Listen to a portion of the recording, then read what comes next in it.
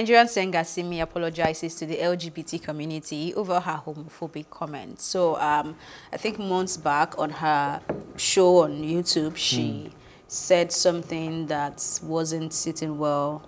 That, being, that was insensitive for the community. That being gay or being an it's homosexual isn't natural. Mm. And that is not being scientifically proven. yeah. yeah, that the people... Which rock is she living in? Of course it has. Okay, all right. Okay, so on this one, I'm not gonna lie, I'm one of those people that um, when it comes to context of Nigeria, I'm not saying that if I leave the shores of this country right now, I will be against the LGBT community. But in Nigeria, I guess. But in Nigeria, I won't be able to relate or understand it because it's not part of the culture. Why? Wait, wait, hold on. Sure has gone to culture again. Stay with yeah. the law. Stay with law. Yeah, culture. It's, it's, it's not part of my culture. It's not legal in my country. So I would not openly, with open arms, say, "Oh, I welcome the LGBT." Um, well, if you go abroad, you would do that. Yeah, because it's part, it's legal over there. It's part of their, I wouldn't say it's part of their culture, but it's legal. They walk freely. They so LGBTQ life matters abroad, but not in Nigeria. That's not, no, you know what? I'm just, I'm making trouble, sorry. Okay, trouble accepted. But um, I wouldn't say I would understand it. I wouldn't be like, if I see a member of the LGBT community, I would probably, I won't be homophobic towards you. I won't probably um, do some slurs or say some nasty things, as long as you don't bring it close to me. But I would not totally be accepting, accepting. Or, mm. or, or, or, or, accepting or supportive of your lifestyle. action, of your lifestyle. But it doesn't mean I hate you. It doesn't mean I won't be able to relate with you. It doesn't mean we can't have a conversation. It doesn't mean you can't sit next to me. Do you understand? But the moment you bring it to me, I'll probably be the first to call the police. Do you understand? But um, when I saw Simi's post, I became humbled in our words as well. Because she said, and it, sometimes some things have to come close to home for you to really understand it. She said she saw someone almost killed because of their involvement in the LGBT community. You know, when you see such things firsthand, and you realize that this person breathes just like me. Mm. This person bleeds just like me. This person goes to the toilet. This person just, hasn't hurt anyone. This person hasn't yeah. done anything. This just this person just has a different sexual orientation, and this person is almost murdered. Mm. We even have sympathy for armed robbers when you mm. see them being linked with jungle mm. justice. You understand? Mm. We have simply like, come on, man. Now, now, thief is thief. Mm. Can he just be handed over to the police? You get? Mm. We have such simple Not to another somebody that hasn't really done anything life-threatening to mm. anybody and is getting violated in such a manner. Of course, it would touch anyone. I haven't seen such a scenario where somebody is being beaten for oh, their sexual. No, but I haven't seen it firsthand. But yeah. she has seen it, and she was on board. And when I thought about when I read that post, I was like, wow it takes mm. you to actually see these things to Empathy. understand where these people are coming from so i kind of got it yeah. and i just want to say if i've also said anything you know mm um, disturbing to the LGBT community or inconsiderate, even mm. in Nigeria, abroad, wherever, I'm totally sorry because mm. you're human. We may not understand. I may not understand because that's not my sexual orientation, but mm. it's yours and it's your belief. It's what you want to do, is what makes you happy. So, and I think everybody deserves that. That's just the bottom line. So I appreciate how Simi put this out there. The apology was apt, it was on mm. point and everything. So big shout out to her for this uh, one. Yeah, agreed. I like that she posted that.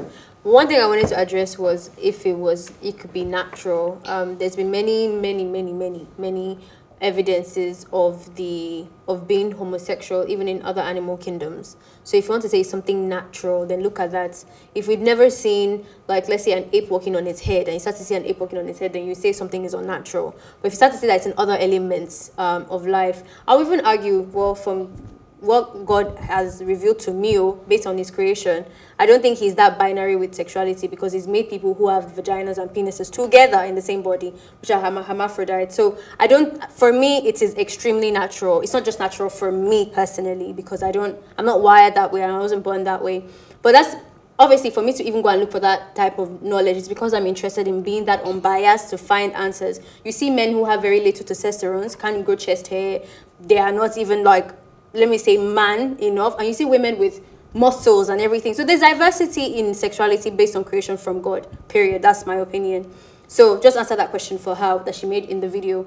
but coming to her, her message, I really liked the write up. I liked how she also acknowledged that sometimes because you can you can uh, you can say things like you even accepting of her, her, of her theory. Somebody could look at it and say, I still don't want that life and don't bring in near me and I'll say what I want to say is my opinion. But the problem with those type of opinions, which she mentioned in that note that I feel like was so important is that your opinion can be um, contributing to the Prejudice. oppression of another person. So if I keep saying like, if a white person keeps saying, no, black people steal too much. No, black people, that's just my opinion. Black people have stolen from me. And like, it's your truth or whatever. It's your opinion. But if you keep on perpetrating that opinion out loud, what hmm. you're doing, you might, you might not think it matters, but it's adding to the drop of the ocean that's already there. And you're perpetrating the ills that's already happening to another person. So I like that she called herself out on that and saw it. I don't think everyone needs to understand, like, even the decisions I make, who I'm attracted to, as in the man I'm even mm. attracted to. Some girls can understand that. Mm. So I don't think it's your job to necessarily understand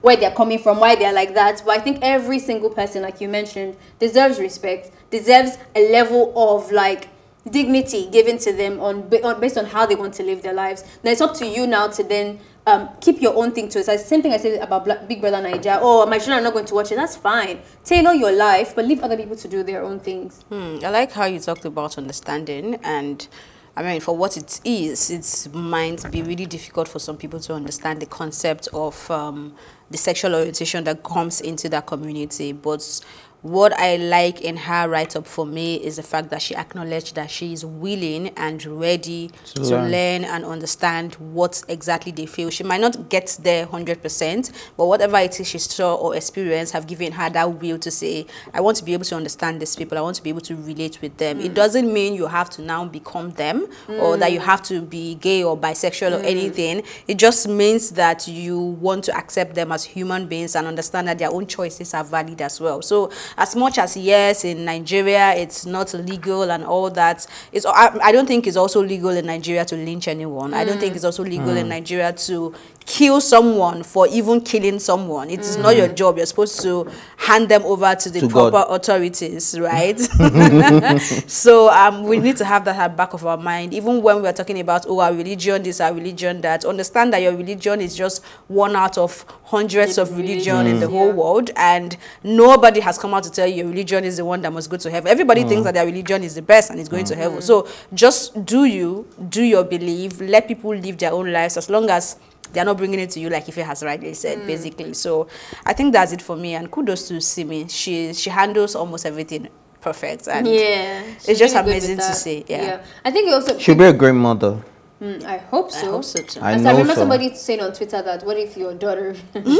has gay tendencies how you um, respond to that. I think another thing is that's that another conversation Yes, actually but yeah Because I, I know I know that a lot of people who are progressive, they I feel like sometimes it, the the standard is a bit too high for them because people came at her a bit too harsh because Simi is supposed to be the one that's like really progressive and knows all the liberal thinking and things like that. But I don't think everyone is aware. So even some things in the LGBTQ, even though as much as I'm an ally, there's some things in the LGBTQ community that I'm like I don't understand. But then I keep on thinking, is this really my place? To understand. Is it my place what, what is my role there? If it's if i don't feel 100% convinced i might not support but i have to make sure that i'm not part of the problem either.